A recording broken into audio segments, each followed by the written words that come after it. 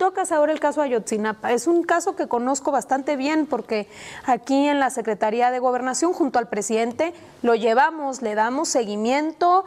Cada semana tenemos reuniones para ver qué sigue respecto sobre todo a encontrar a los jóvenes en la búsqueda, pero también en el propio proceso.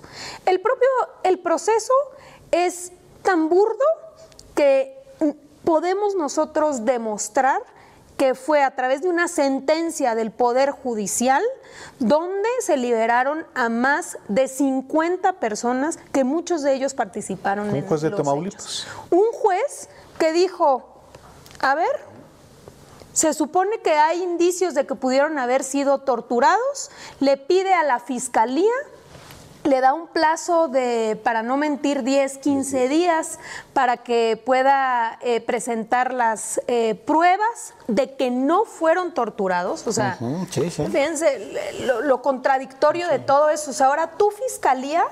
O sea, no es la otra, demuéstrame tu, las condiciones de tortura. Y no decimos que no los hayan torturado, ha habido, sabemos que eso sucedió. Pero lo que es increíble que sucediera es que le dan a la fiscalía ese plazo que se conoce es insuficiente para el tipo de pruebas que se necesitan hacer. Pasa el plazo, incluso se pide una ampliación, no. Y van todos para afuera. En un caso tan emblemático como Ayotzinapa, se queda uno helado.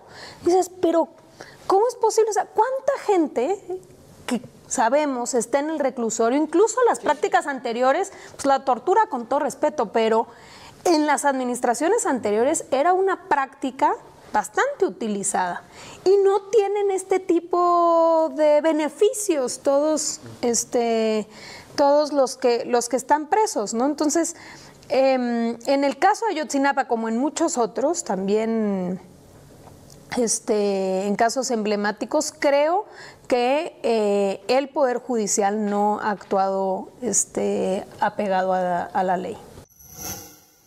Gobierno de México.